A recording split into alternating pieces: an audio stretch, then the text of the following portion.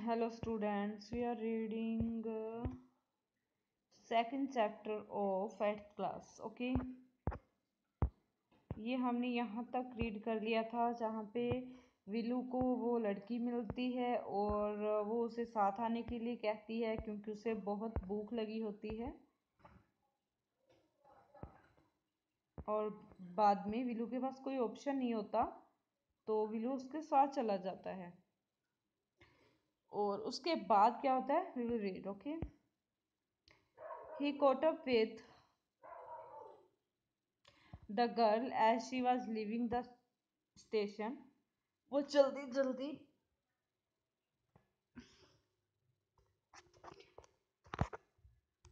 उस गर्ल को पकड़ लेता है मीन्स उसके पीछे चला जाता है उसके साथ आ, हो जाता है आ, क्योंकि वो स्टेशन छोड़ रही होती है। When they go to the road जब वो रोड के पास चले जाते हैं Villu found that the vehicles kept coming and never stopped for any one Villu ने क्या देखा कि जो व्हीकल्स हैं, वो क्या है? सिर्फ़ आए ही जा रही हैं, वो किसी के लिए स्टॉप नहीं हो रही हैं।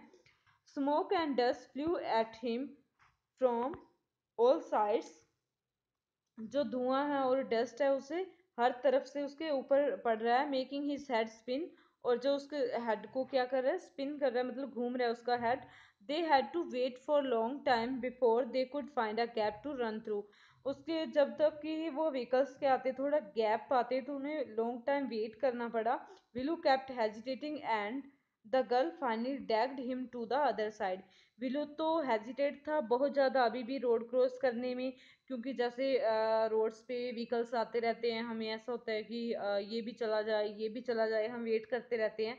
बट वो विलू तो उसी प्रकार कर रहा था बट वो गर्ल ने क्या फाइनली उसे डैग किया, खींचा और दूसरी साइड ले गई, क्योंकि व्हीकल्स तो उनके लिए रुकने वाले नहीं थे। What do you think you are doing grazing cows वो उसे कहती, तुम क्या सोचते, तुम क्या कर रहे हो? गाय चरा रहे हो if you stand around in the middle of the road like that you will be chutney. वो कहती है, अगर तुम मिडल में खड़े हो जाओगे ना रोड के, तुम चटनी बन जाएगी तुम्हारी। Villu's heart was still beating fast और जो वेलू का हार्ट है, दिल है, वो अभी बीट कर रहा होता है फास्ट बिकॉज़ उसने कभी इतने व्हीकल्स नहीं देखे रोड पे। He look back at the central station and the traffic speeding by वो क्या है बैक देखता है, पीछे मुड़ के देखता है सेंट्रल स्टेशन को और ट्रैफ़िक की स्पीड देखता है। How had they manage to come through that और वो सोचता है कि उसने ऐसे मैनेज कैसे किया यहाँ से आने के लिए? मतलब वो गर्ल उसको खींच के ले आई थी ना तो वो सोचता है कि वो गर्ल कैसे मैनेज कर लिया कि इन इतने व्हीकल्स के बीच में से मुझे ले आई। They walked along the side of the road under some वो क्या है रोड के साइड में क्या वो करते हुए आते हैं?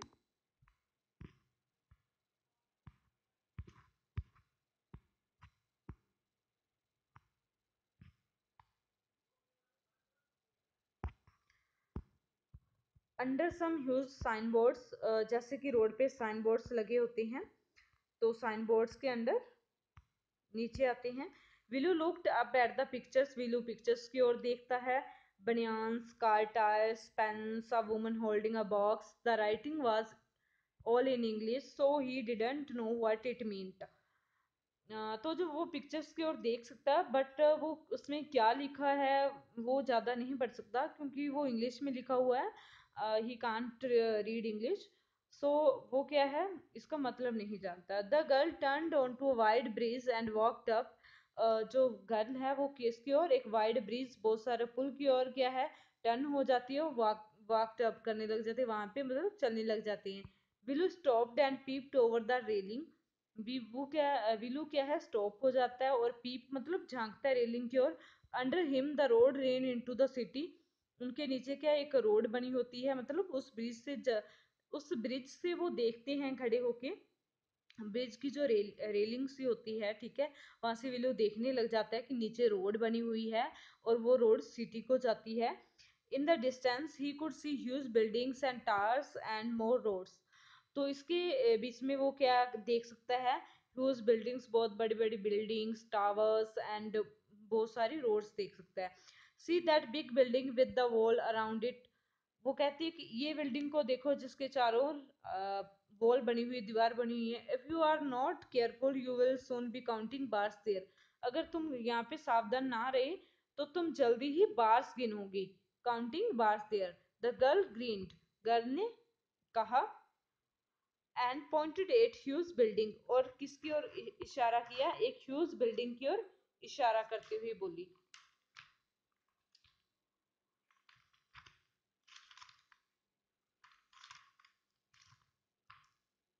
Villu squinted and read the Tamil sign central jail. Villu थोड़ा स्क्विंट हो जाता है।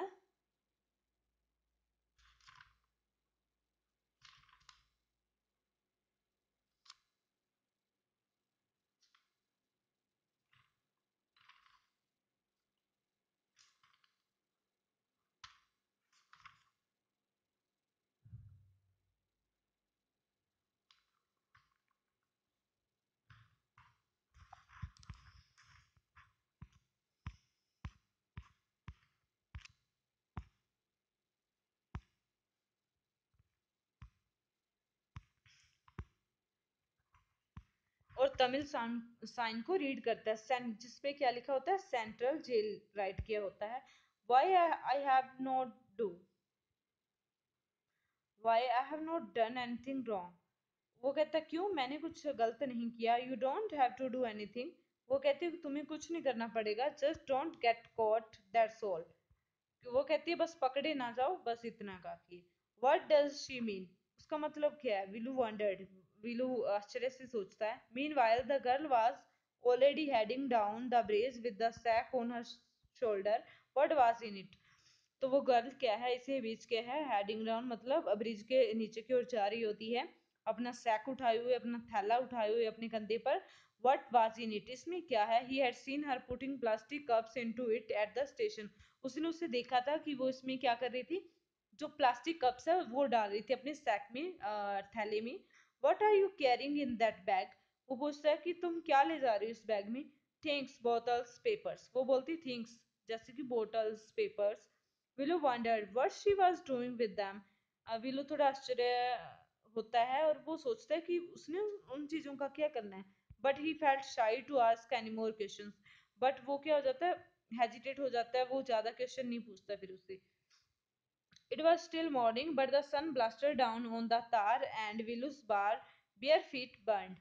अभी भी मॉर्निंग का टाइम होता है बट जो सन है वो ब्लास्ट हो चुका है तार पे मतलब रोड की तार पे पिघल चुका है मतलब वो तार जो है गर्म हो चुकी है और विलुस के बेयर फीट हैं जो नंगे पाव हैं जो वो बर्न हो रहे हैं जल रही हैं। It was not like walking on a mud road ये मड रोड पे चलने जैसा नहीं था मतलब कच्ची रोड पे चलने जैसा। He was soaked with sweat उसे क्या पसीना आ गया था? He tried hard to walk in the shade and keep up with the girl at the same time वो क्या कर रहा था? आ, वो ट्राई कर रहा था कि वो छाया में चले और जल्दी जल्दी गर्ल के साथ ही चढ़े। चले। शी वॉकड रियली फास्ट वो क्या है? जो लड़की है बहुत ही फास्ट चलती है। How far away was the food और पता नहीं फ़ूड कितनी दूर है।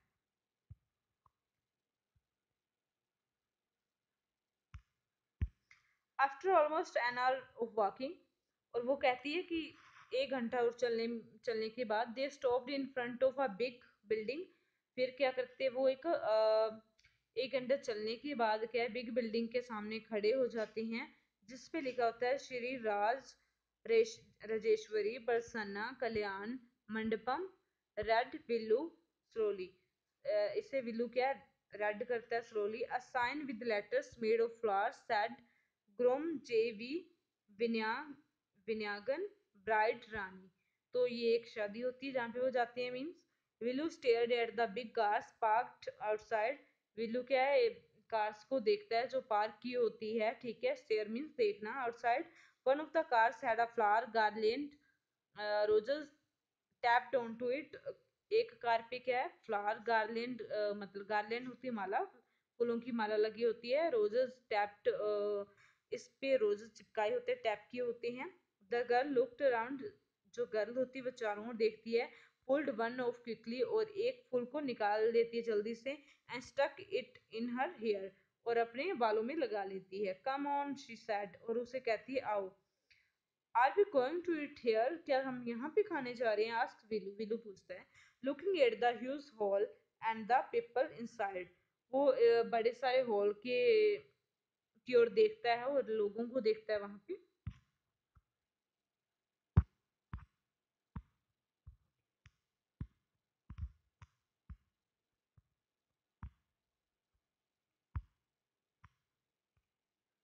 hopes said the girl said the girl shaking her thumb under his nose और गर्ल क्या बोलती है? हाँ आशा करती हूँ। और अपनी जो फिंगर है, वो अपने नाक के नीचे से ऐसे करके नखरे से दिखा के जाती है। Led him behind the hall और उसे क्या होल के पीछे ले जाती है। There was a big garbage bin overflowing with rubbish वहाँ पे एक गार्बेज बीन होता है जो गार्बेज से भरा हुआ होता है। Two goats were standing on the pile इस मतलब डेर के पास दो बकरियाँ खड़ी होती हैं फाइटिंग फॉर बनाना लीफ वो किसके लिए फाइट कर रही होती है बनाना लीफ के लिए बनाना की जो छिलके मान लो, पत्तियाँ मान लो, बड़ी बड़ी पत्तियाँ होती है, जो उसके लिए फाइट कर रही होती है। A cloud of flies buzzed around their legs और उनकी जो फ्लाइज में जो मक्खियाँ हैं, उनके लेग्स के चारों ओर बिन बिन आ रही होती हैं। There was a rotten smell in the air air में क्या है? रोटन स्मेल रोटन मीन्स सड़े हुए पदार्थों की जैसे स्मेल आती है, वैसे आ रही होती है। The girl picked up squashy banana held it out to Villu एक स्क्वेशी मतलब क्रश सा किया हुआ, ठीक है? बनाना जो उसको विली को देती है पिक करके हेयर हेयर योर फ़ूड और बोलते हैं, ये तुम्हारा food Villu was shocked Villu shocked हो जाता है। Are we going to eat their leftovers क्या हम उनका बचा हुआ खाने जा रही हैं? छे what do you think I am a dog I only take untouched food वो कहता है, तुम क्या सोचती मैं डॉग हूँ, मैं सिर्फ़ अनटच्ड फ़ूड खाता हूँ, जिसने टच जिसे किसी ने टच ना किया हो, मैं खुद का खाता हूँ means here some more catch she threw him vada, और बाद में वो उसे एक बड़ा जो कोई खाने वाली चीज़ है, ठीक है, वो उसकी ओर फेंकती है Villu looked at it with distaste distaste वो उसे करना से देखता है विलो उसकी ओर।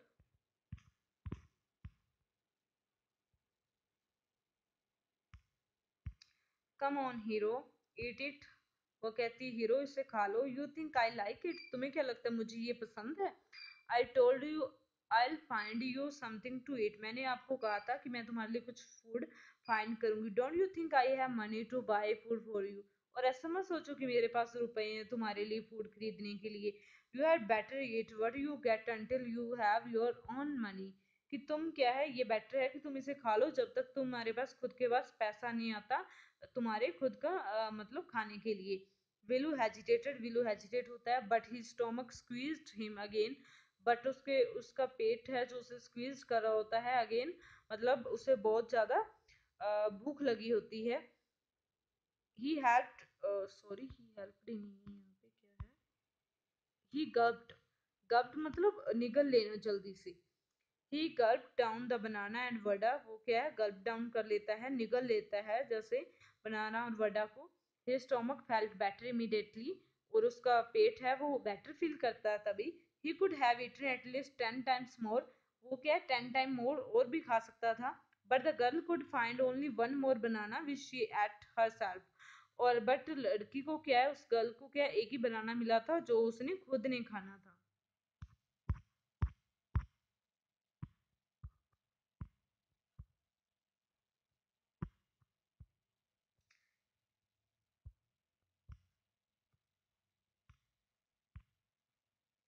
It's too early. It's too early. They have only eaten tiffin. ये बहुत जल्दी है uh, हमें बहुत जल्दी है। They have only eaten tiffin वो उन्होंने टिफ़िन फिनिश किए अपने। If you are still hungry अगर तुम अभी भूखे हो you will have to wait for them to finish तो तुम्हें उनका लंच खत्म होने तक का इंतज़ार करना पड़ेगा। You can wait if you want तुम वेट कर सकते हो अगर तुम करना चाहते हो।